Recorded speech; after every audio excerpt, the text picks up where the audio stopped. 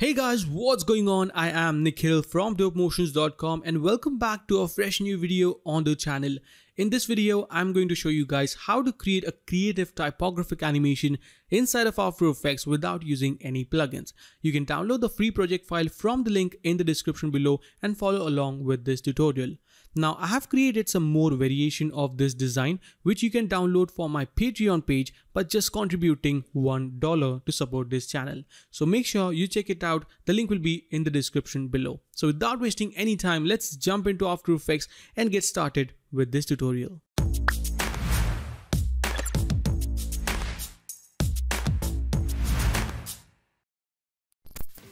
So before this tutorial starts, I want to introduce you guys to Create Pack, which is one of the amazing After Effects pack on VideoHive. Over 3600 plus fully responsive animation elements that automatically rescale for your composition, which you can preview and import with just one single click. Dozens of categories with everything you need to create some awesome motion graphics without wasting any time. Download the Create Pack from the link in the description below. Okay, so here we are in After Effects. Let's start by creating a new composition 1920 into 1080. Let's make this 30 FPS and I'll keep the length to 10 seconds long comp. Call this main as our main comp. Hit OK. Let's create a new composition which is gonna be our text placeholder where we can you know edit any text and type in any text that we want to use in the animation. Now, the one thing that we need to do is change the height to 200. All right, and let's call this text. Hit OK. Hit Control Y to create a new solid layer. I'll call this BG for background. Hit OK. And then I can select my text tool and you can of course type in anything that you want. I'm gonna type in just like the example, keep it simple and align it into the center. Now, if you don't see this align tab, you can go into Windows and click on align to, you know, make it visible. So there we go. There we have our text. And for the text, I'm using the Monument font, which is an absolutely great font. I'll provide the link into the description from where you can download this free font using the extra bold version of this at 175 um, size. So that is our text and that is pretty much it for our design. Now let's go ahead and create a new composition. Let's make this, let's make this actually 4K. So I'll go and make this 4K, change the frame rate to 30 FPS and call this cube. Okay. Alright, so there we have our composition. Let's drag and drop in our text composition into this cube comp and make it 3D. Then I'll go into effects and preset and use a really cool effect called motion tile. Let's double click to apply that up and increase the output width just like so. So I'll keep it around, let's go with 600. Then I'll go into effects and preset and type in offset. Let's double click and now we can basically animate this just like so. Simple and easy. So let's create a keyframe on the shift center to go at the very end that is 10 seconds and let's drag it out just like maybe that. So now if I preview this, we have this really nice and simple animation. Now let's start building up our cube. So to do that, what we can do is let's actually jump into the custom view. So there we have a custom view. You can hit C to bring up the camera control and then you can just, you know, navigate it very simple and easy. Now what i'm going to do is make sure you turn on the snapping. Duplicate this. So select this hit control d to duplicate it. Let's drag this into the z space. Now i'm going to select this layer and hit p to bring down the position. And let's see the position that we want to go with. So for now i'm just going to keep it at 200 so we have something like that. Let's select this again hit control d bring this at the bottom. Let's change the color to something like aqua. So you know it's a different comp. Hit r to bring down the rotation properties and let's rotate the x property to around let's go with minus 90 and now because we have turned on the snapping i can select this. Let's select right over here and then we can snap in just like so. And there we have a really nice um you know snapping. Anyway so let's select this again. Hit control d put this at the bottom, hit P to bring down the position. And then I can just actually snap this at the bottom as well. So I'll select this and snap it at the bottom. So now we should have our perfect cube, but at the moment we can get a bit of this, you know, anti-aliasing issue. So to fix this, what we can do is we can go back into our text composition, hit Control K to bring up the comp settings and increase the height a bit, like maybe 202.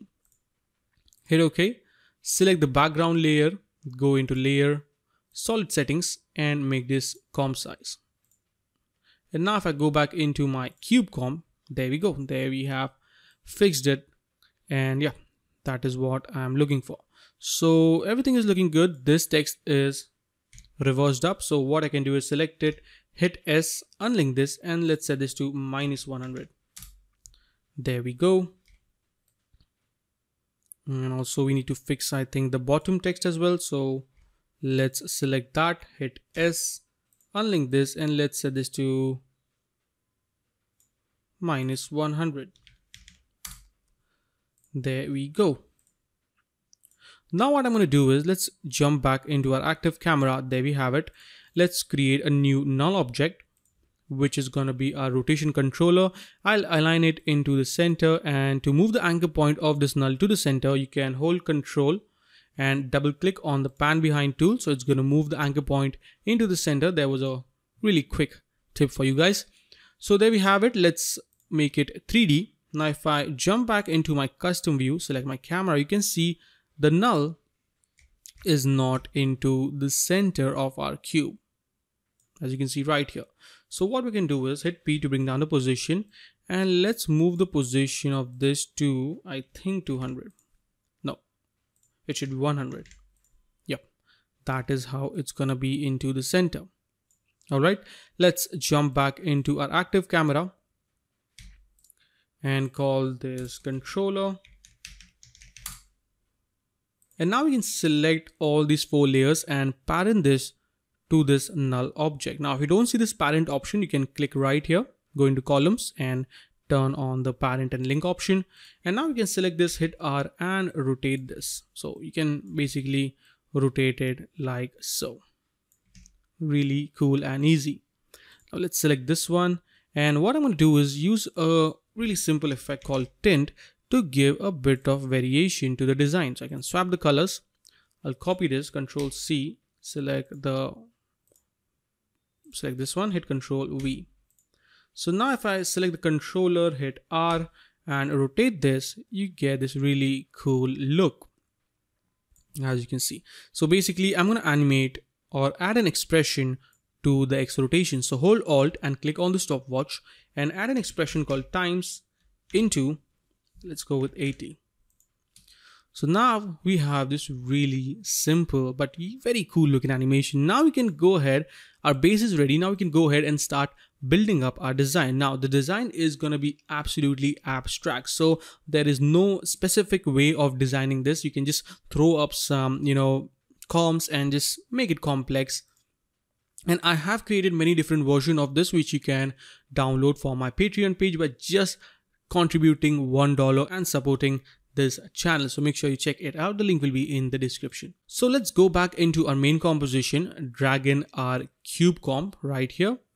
Turn on the 3d and turn on collapse transformation. So now we can scale this down you know and create some really cool looks.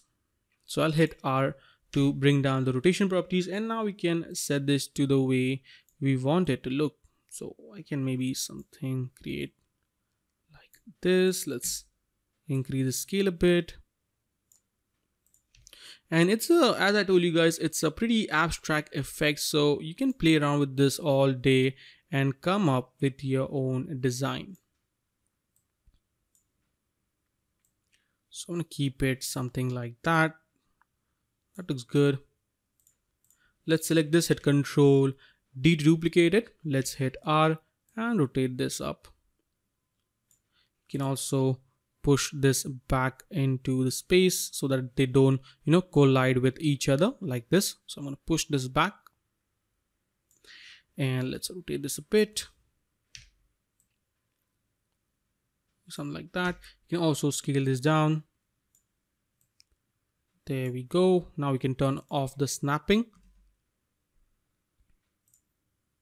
You see, looking pretty cool. Let's create one more copy. So hit control D to duplicate it. Let's place it right here. Rotate this in a way we want it to look. There we go. and as you can see, we're starting building up our really abstract design. So I'm gonna hit control D again, duplicate this, rotate this in a different um, position. Let's um, put this back like so. And it started to look pretty cool actually. Now, one more thing that you need to keep in mind is that if you want to add a nice drop shadow to create a feel of, um, you know, depth, what you need to do is arrange it according to the way you want it on the top. Like by, let, let me explain it to you. So let's say this layer is on the top that is very much closer to the camera. So I need to keep that layer onto the top. Then the second layer is going to be, let's say this one. So this is going to be on the second position. This is going to be a third layer third position and fourth position. Now this is very important because now i'm going to go into effects and let's add a drop shadow. So i'll find the drop shadow add that and now if i just um, increase the opacity increase the distance and there we go. I'm going to keep it somewhere around there. Let's bring down the opacity a bit increase the size Let's play around with this a bit. Now you can see we get a really nice depth and this is very important if you want to make it look really, really cool. So let's copy this and paste it on the second one, hit control V and I'm gonna just move the position to find the right spot. Just like that, let's copy paste it onto the third one. Let's rotate this to create a perfect drop shadow and there we go. So now you can see we have a bit more depth into the scene and it's very easy and simple to create. So you can of course type in any text that you want. So let's say if I want to add something different, so let's replace the text with let's say sale is on. There you go you have a really cool look. You can also give different colors to create a very interesting look and animation. And one more thing, let me just show you guys very quick that you can do with this effect is you, you can add a warp effect on this. So you can go into effects and preset, type in warp, double click, and now you can create some really interesting looks using this. So I can just, you know, tweak this. Let's copy paste this second one, control V, and let's, you know, tweak this bit